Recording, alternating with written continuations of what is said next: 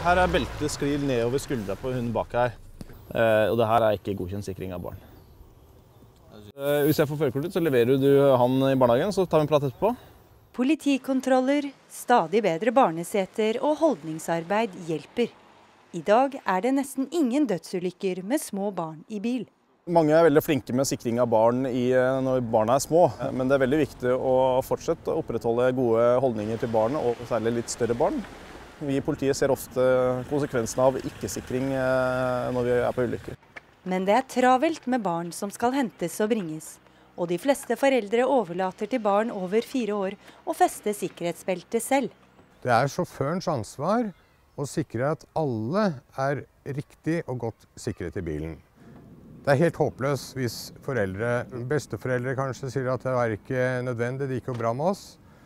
Men det er klart, det gikk jo bra med dem, hvis de kan si det nå, for da har de ikke krasja. På 1970-tallet mistet rundt 100 barn livet i bilulykker hvert eneste år. Årsaken ser vi i denne filmen fra If og Trygg Trafikk. Hadde dagens barn vært like dårlig sikret som den gang, ville 400 barn omkommet i bilulykker hvert år.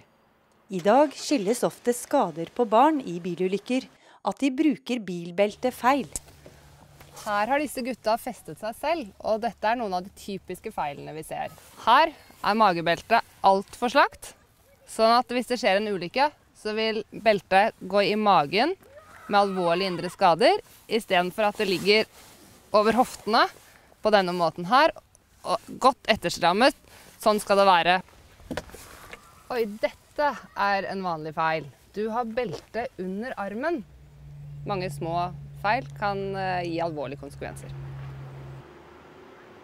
Det er superviktig at beltet alltid ligger godt over skulderen.